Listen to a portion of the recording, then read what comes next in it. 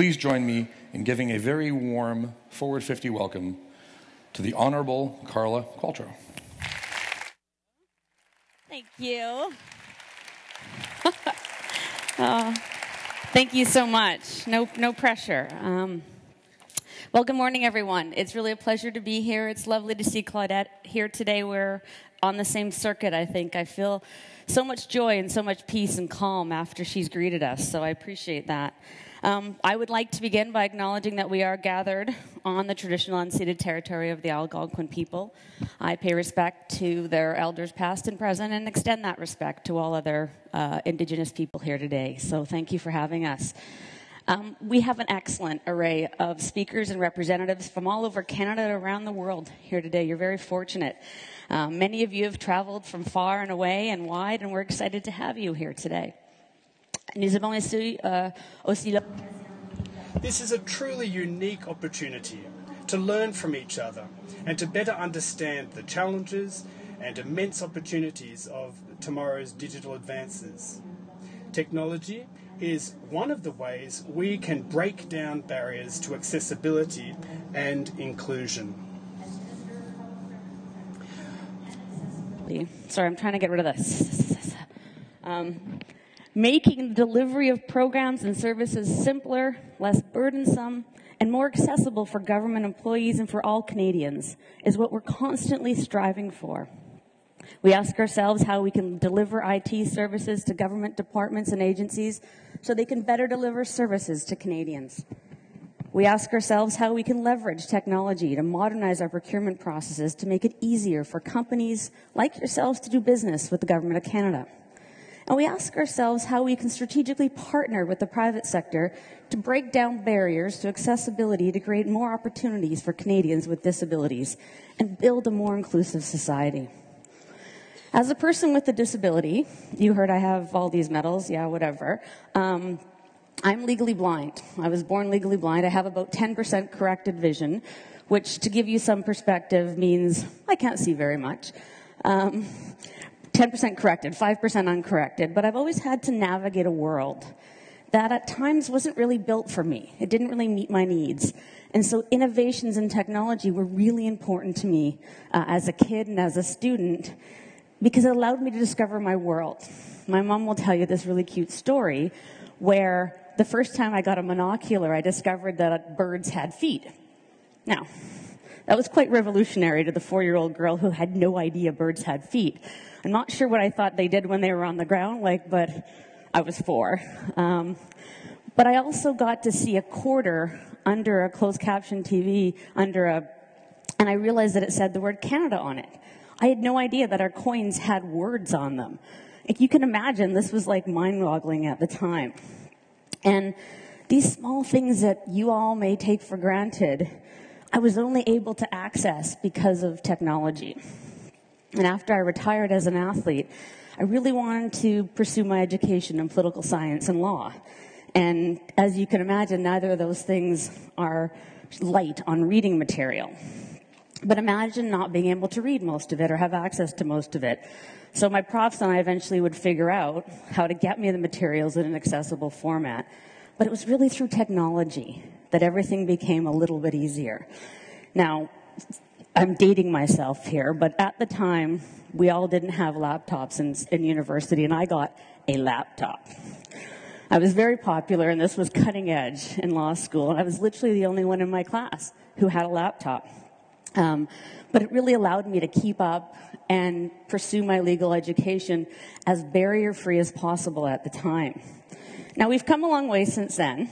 Um, but the more we can close the gap by removing barriers, the closer we move to a fully inclusive society. This is about encouraging everyone to take meaningful action to make our society more accessible and inclusive. I'm proud to say that our government is committed to achieving this broad culture change. It's foundational to the historical accessibility legislation that our government tabled last June. Bill C-81, the proposed Accessible Canada Act, will benefit all Canadians, especially Canadians with disabilities, through the realization of a barrier-free Canada. This will be achieved by proactively identifying, removing, and preventing barriers to accessibility wherever Canadians interact under areas of federal jurisdiction. And this proposed legislation has quite a wide reach. It applies to Parliament, the Government of Canada, Crown corporations, and other federally regulated sectors and entities, including organizations in the transportation, telecommunications, broadcasting, and banking sectors. It ensures that, the, that these sectors and entities are inclusive from the start. By proactively addressing discrimination before it happens, people with disabilities can have an equal chance at success. And this is the, this is the real underlying premise of the Accessible Canada Act.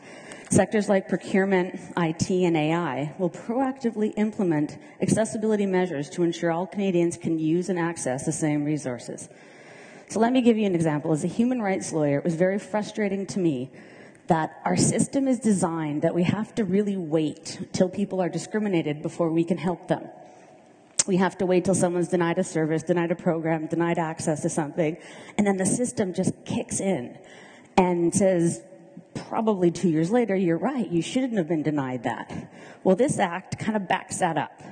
And it creates a system where the government takes on the burden of removing barriers so that we don't get to the point of discrimination.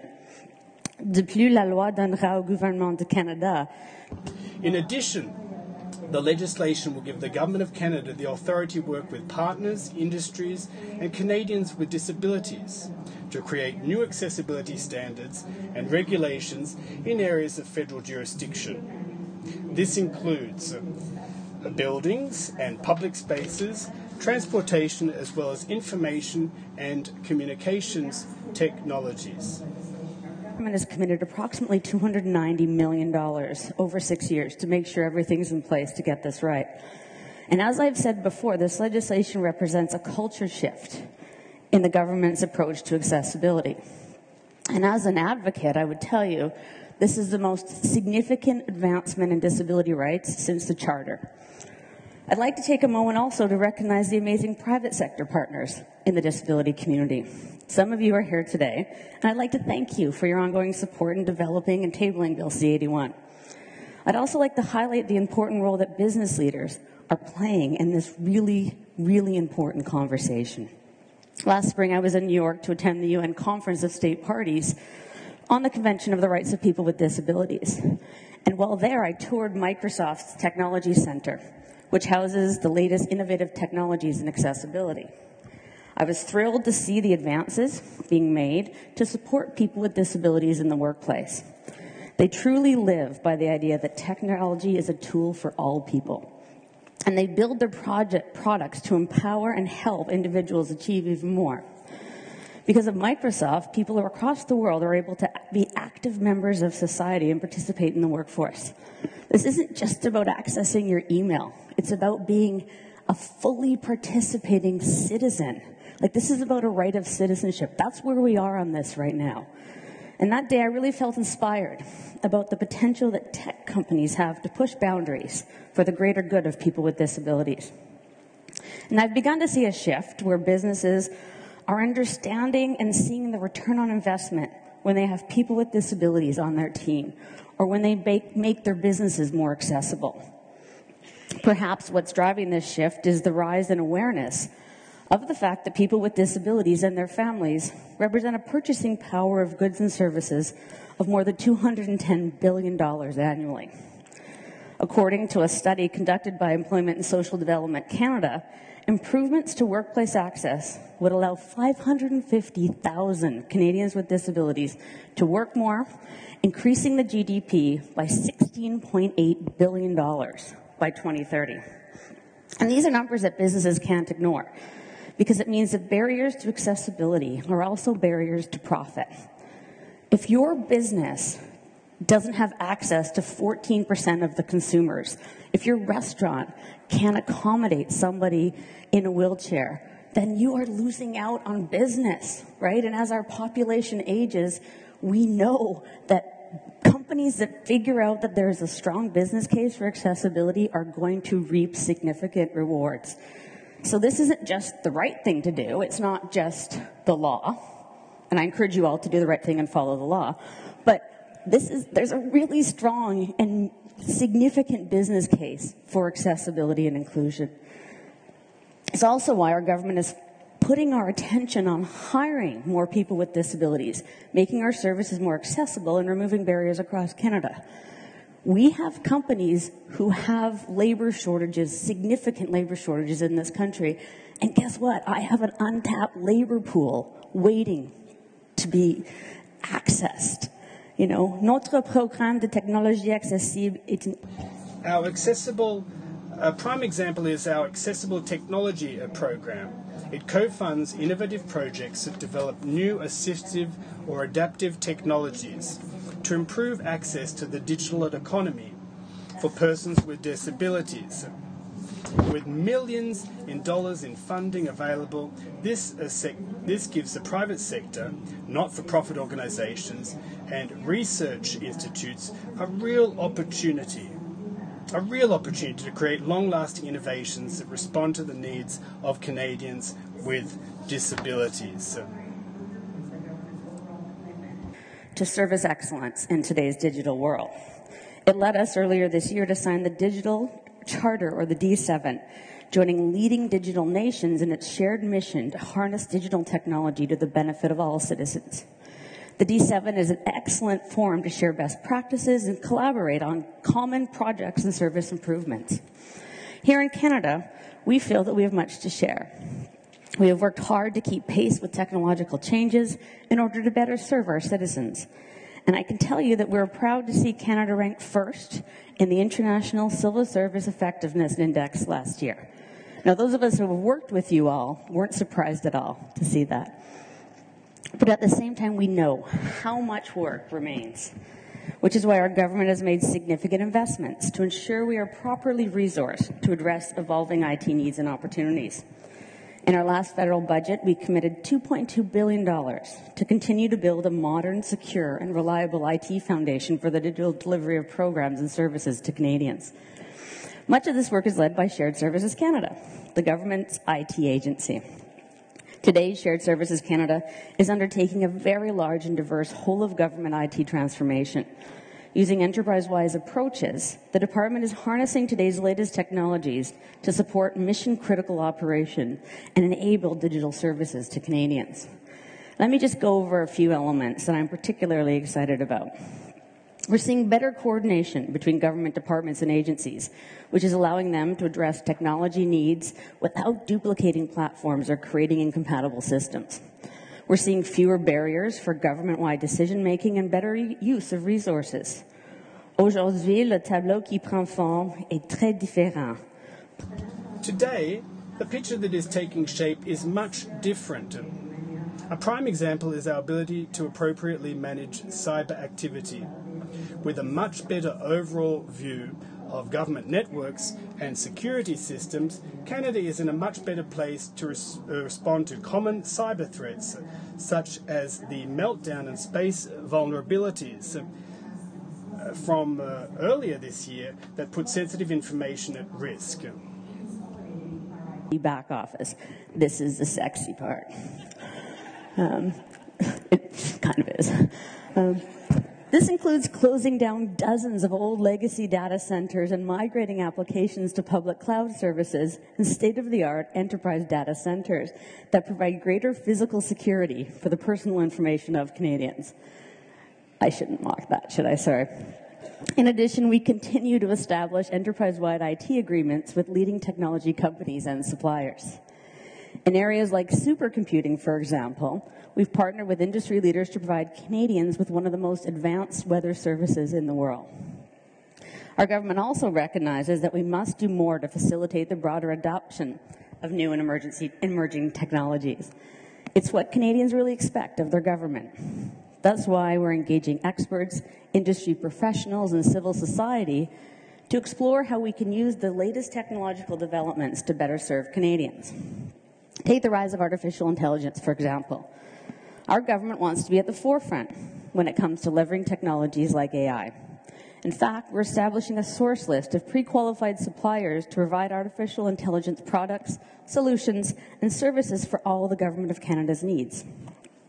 This source list is designed to provide a space for all suppliers, including small and medium enterprise, to do business with our government. And that's one example of how we're leveraging emerging technologies. These initiatives will help us be the modern government that Canadians deserve. But it's not only about procuring the latest technologies, it's about fundamentally modernizing the way in which we procure our goods and services in the first place. We've heard from you, I'd say pretty much everybody, about the need to simplify government processes. And I'm determined to build and create a world-class procurement system that meets everyone's needs. I recognize that many small businesses, many suppliers, um, surprise, often find it difficult to work with government. You, we've been told that there are too many rules and barriers that prevent companies from doing business with us. And that's why we're moving towards an outcomes approach. And what does that really mean? Well, it means that a greater focus will be put on the problem or situation we're trying to address. It means getting away from prescribing a series of steps that we believe will yield a certain result, or even presuming we know the best solution. The more agile approach reduces this, the reliance on large RFPs that take weeks to complete. It also will allow us to better engage with industry to address the challenges at hand, letting industry provide suggestions on what they can offer rather than predefining solutions. On peut observer cette approche dans notre nouveau This approach can be seen in our new Phoenix Innovation Challenge. Phoenix? Right? Nous examinons tous les aspects de we are examining all aspects of the HR to pay environment, including a review of all systems and processes involved in the end to end chain. The goal is to stabilize operations and lower the queue of outstanding transactions awaiting processing. In this case, we are seeking innovative solutions both internally and externally to specific issues being encountered, new ways to process pay, to modify and adapt pay business models to achieve better pay results and deliver better services. However, we know that we also need to steer the process with modern tools. The fact is, for far too long, our procurement processes have been more or less, less paper based. It's boggled my mind. Um, and I'm intent on changing that. Thank you. Last year, Public Services and Procurement Canada started to accept bids electronically. A faster, greener, and more efficient way of doing businesses. This was a big deal. Like, it sounds silly, but it really was a big deal for us. And this is another big deal. We've actually managed to establish an email notification service for suppliers, allowing them to sub- subscribe to emails which alert them to new tender notices in areas of interest. And to date, we've had over 7,200 users, uh, suppliers registered for procurement alerts. In doing this, we've increased access and competition, and businesses are using fewer resources trying to figure out business opportunities with the Government of Canada. And this seems like a small, simple initiative. It's really proving immensely helpful to businesses of all sizes. When you consider the fact that procurements for the Government of Canada total approximately $25 billion a year, the impact of these simple improvements becomes really, really clear. And this is important to us. Moving procurement online is a key priority to improving the way government works with suppliers to buy and sell goods and services. That's why we included an investment of $196 million in this year's budget to establish a new e-platform for simpler, better procurement. In July, we awarded the contract for this platform, and I'm happy to say the work on this project is already underway. This interactive cloud-based platform will facilitate an online experience something similar to an Amazon or an eBay, which allows buyers and, let's see who else, um, suppliers to work together on one platform from proposal to final payment. This is a really, really big deal. Elle aidera également à promouvoir la participation d'entreprises canadiennes. It uh, will also help small and medium-sized uh, companies uh, to uh, take play a role in this. And it is by streamlining these processes and by using high tech uh, new technologies modernisant l'approvisionnement. that we will improve uh, the procurement process. The risk that as we become more digital, that we're going to leave people behind if we don't consciously choose to be inclusive in the way we do things. But as I've already told you, our government is committed to building an accessible Canada for all. And that commitment extends to how our government procures goods and services. That's why I'm actually very pleased to announce today that we're creating an accessible procurement resource center to ensure that our goods and services that are purchased by the Government of Canada can be used by Canadians with disabilities without the need for adaptation or specialized design. As the country's largest public purchaser of goods and services, we have a real opportunity here to make a societal impact. What if we just decided that we wouldn't buy software that everybody couldn't use? Instead of buying something and then realizing that many of our citizens and employees can't use it and then paying a lot of money to adapt it and then it still really doesn't meet everybody's needs. And this is a fundamental kind of policy shift in how we procure. And it will serve two functions, this accessible procurement resource center. First, it will maintain and create a list of commodities across government for which accessibility is relevant. And second, it will provide direction, guidance, and advice on accessible procurement to all federal organizations. And this is about ensuring accessibility from the start, as I said, because meeting the needs of the people we serve should never be an afterthought. I believe, I truly believe, that our collective duty to make sure that all citizens are included and thriving in today's world will make our planet, our society better. Ensemble, nous pouvons jeter des bases solides afin. Today, we can lay down the groundwork to ensure that accessibility and inclusion are drivers uh, that uh, make our institutions a 21st century. By achieving a significant uh, digital transformation, we will, in co collaboration, be leaders in Canada in the digital area and be able to promote a change in culture. We must ensure that these new systems and technologies are truly inclusive. For disability rights, I'm proud of the work our government is doing right now to make our services more accessible and inclusive. And I've touched on a few examples here today. There are many others, including the leading edge work departments like Shared Services Canada are doing to assist and integrate employees with disabilities into the workplace and so many other things. So I guess what my message to you today is, is pretty straightforward. We can only have true success if we, government and industry together, lead by example and help lift the voices up of everyone.